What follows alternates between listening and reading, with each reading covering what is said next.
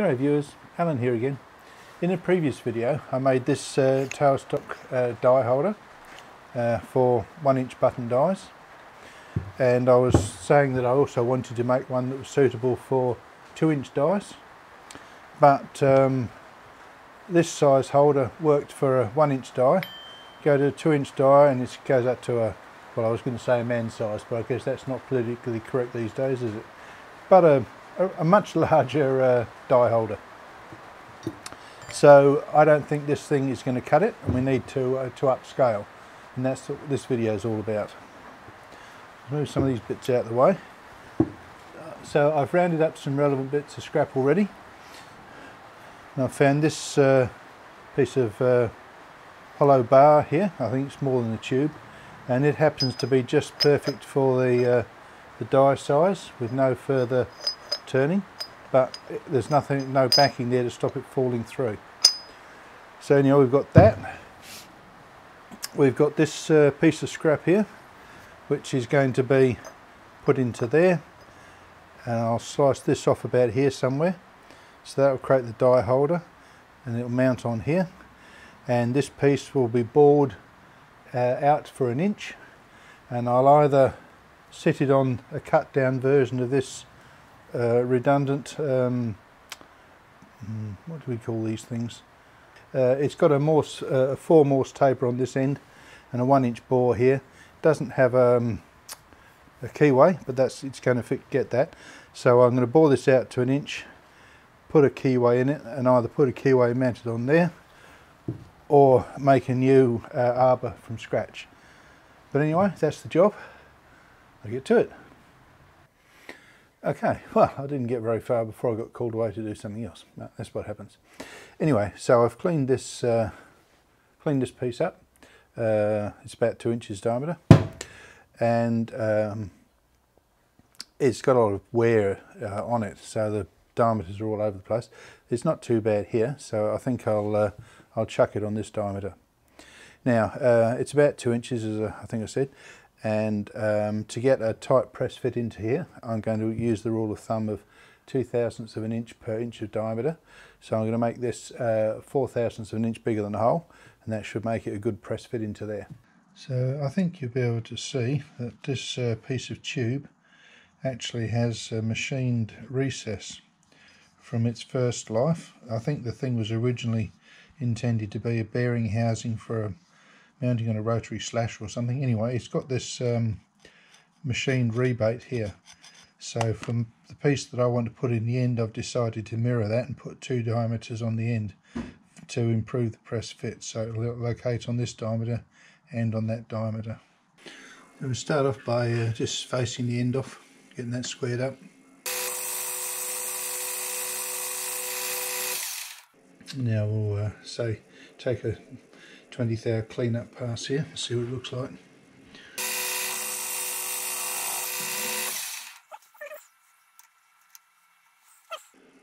Hundredth to come off the diameter.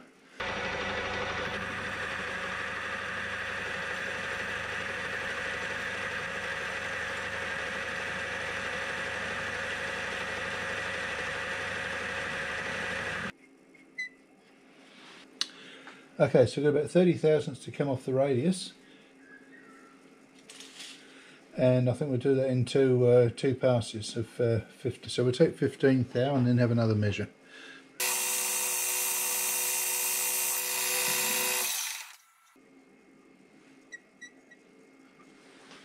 well, hopefully this will be a finishing pass.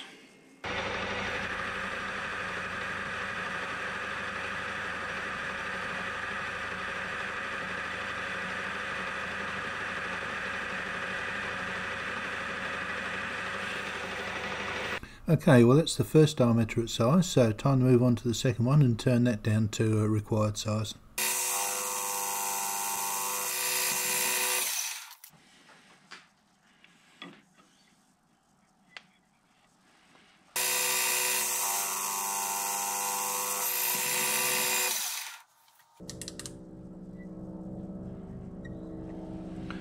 We wanted 2.049, so we're 2,000 big.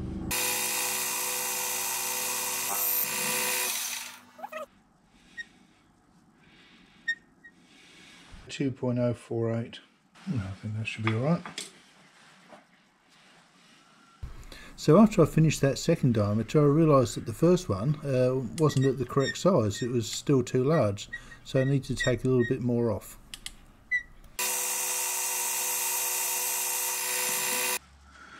Right, let's just uh, chamfer those corners. But now it's time to put a hole through the middle of this lot. It needs to be about a one inch, well exactly a one inch bore to slide on my uh, arbor.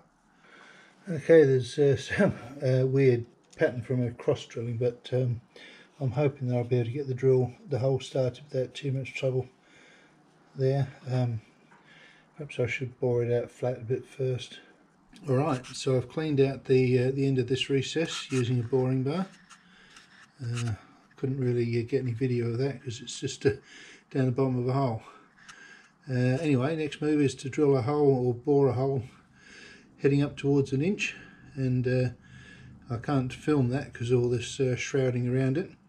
But as soon as I've got a hole, we'll come back and have a look. Okay, so it's not very exciting watching a hole being drilled, but I just thought I'd include a, a little bit here. So this is the 3132's drill to uh, make it uh, through and a bit undersized for a one inch reamer.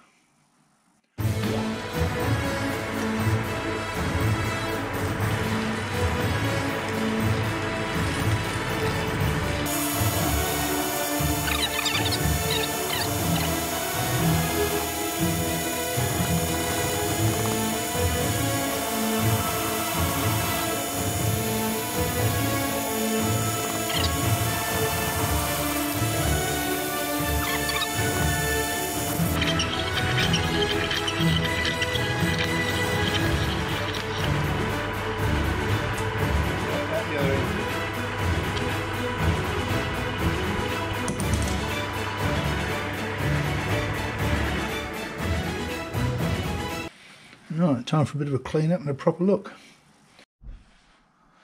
Well, not sure what you'll be able to see, but there's a hole. Uh, time to get the reamer into it now.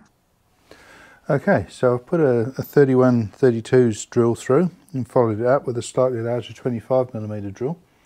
So now it's time to um, put the one inch reamer through. This is actually an adjustable reamer, so I've got it set to uh, slightly um, on the underside.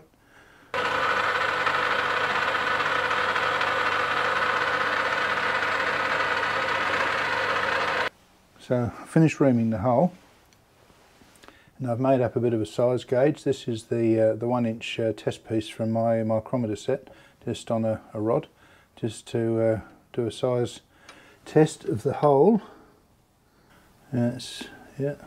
I'm not going to I'm not going to force it. That's a pretty reasonable sort of fit. So that's somewhere in, somewhere near an inch all the way through there. And I haven't decided yet whether or not to use this um, um, redundant or spare arbor uh, as my uh, arbor for this piece. I might might yet do that. It's got a one inch diameter uh, shaft and uh, a four Morse taper on the other end, so it's a good part of the way there anyway so so that's a reasonable fit in there.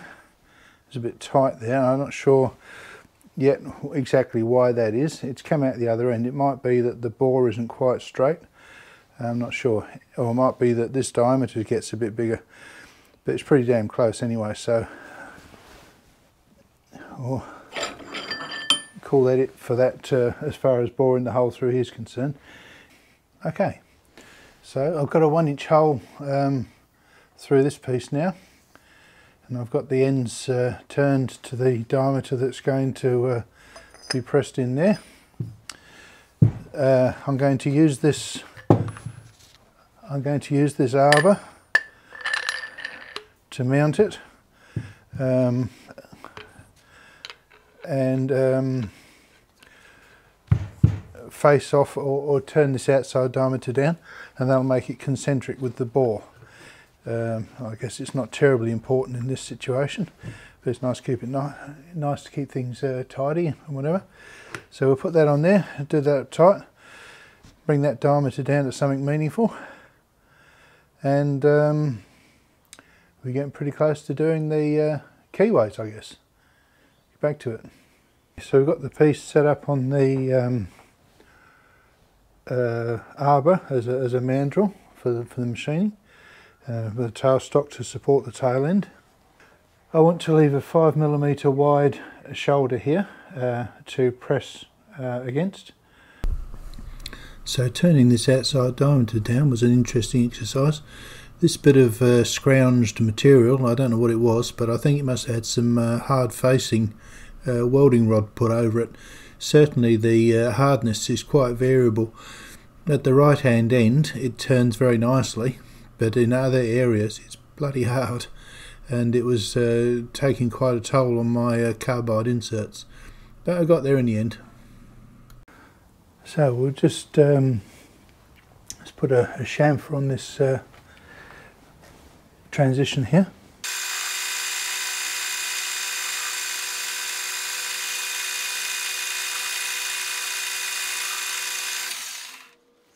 Going a little bit more, I think.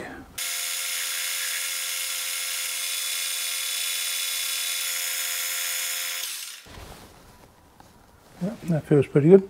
Call it done. So, uh, as I noted earlier, the um, the arbor was uh, a little bit tight. It seemed a bit tight at this end anyway, so I've taken my uh, uh, body out now and turned it around and I'll feed the, um, I've adjusted the, uh, the reamer here to be just right, so I'll feed it in by hand.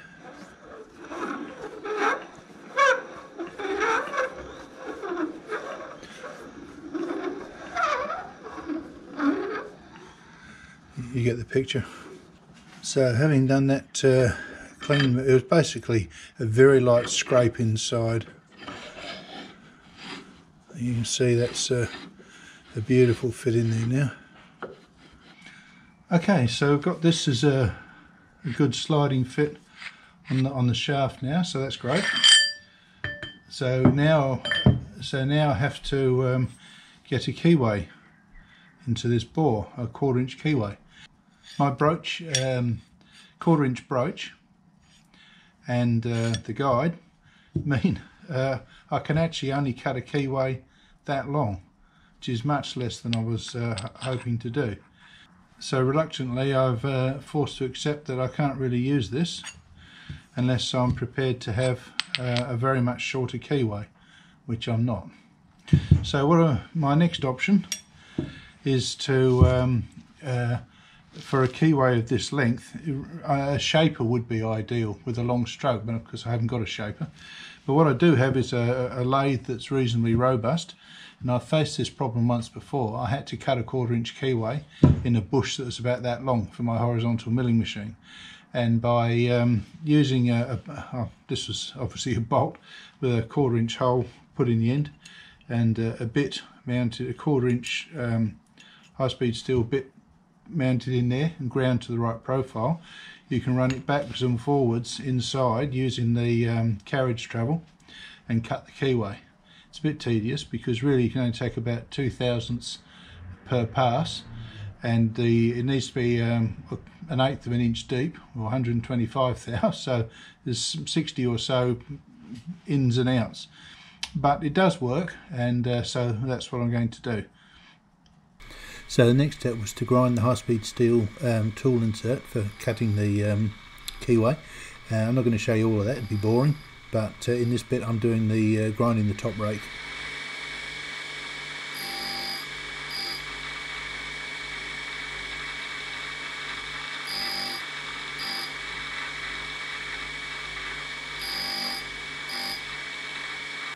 Um, I just put uh, 5 degrees front clearance a couple of degrees, very slight, just a couple of degrees on each side. They didn't go very far in because it's not obviously not doing a very deep um, uh, channel. And uh, five degree top rake. Again, I didn't go very far, so if I had to uh, uh redo it, um, I would be able to do that. So, ready to get started on the first cut of the keyway now. You'll probably see the bar bend a little bit just as it enters the, the, hole and starts cutting. You'll also hear the, the cutter riding over some surface irregularities on this first pass.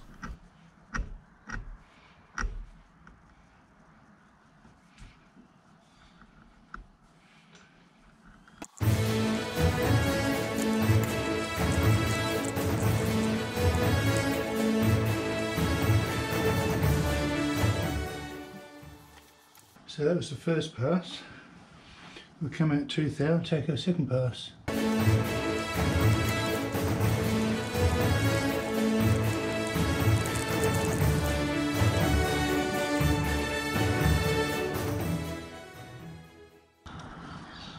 Seems to be holding up. Lost count how many strokes I made now, but uh, getting a bit of a keyway starting to show up. It looks like we're about halfway there now. It's a bit tedious, but I think I've finished. It's producing some good uh, shavings though. Um, just uh, taking off uh, one to two thou thick stripes, so the cutter was working nicely. Anyway, time to do a bit of a test. So I've got this uh, arbor here from uh, some other, obviously, some other application. But uh, it'll serve, it's a one inch uh, shaft with a quarter inch keyway. So it will serve to test the fit.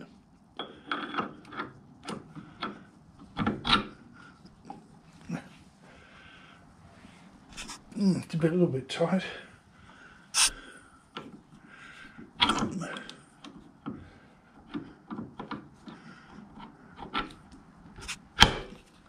Oh no. That's that's pretty good actually. Whoops. Yeah, that'd be that'd be fine. Be happy with that. So I thought it was worthwhile just having a, quick look at the setup that I used. Obviously when you're um, uh, running the, the cutter back and forwards doing the keyway, you don't want the truck to, chuck to rotate. So I've got a stay arm here which I made up a while ago, well when I had to do that first one actually and it's just bolted into the back of the chuck at this end and with um, an exhaust pipe clamped around a boss there so the chuck just can't rotate at all. Of course it's critical not to turn the lathe on while that arm's in place and uh, I actually had the, the lathe powered down to make sure I couldn't accidentally do that before I removed the arm. Okay so um, here's the uh, what's going to be the die holder sporting its new uh, keyway um, and how easy that is to see. So try and get it more light there, see if that helps. Okay, see, see it like that. Alright, so that seemed to uh, go through fairly cleanly. And um, it does still fit on the, the shaft nicely. So I think that's all the hard work done now.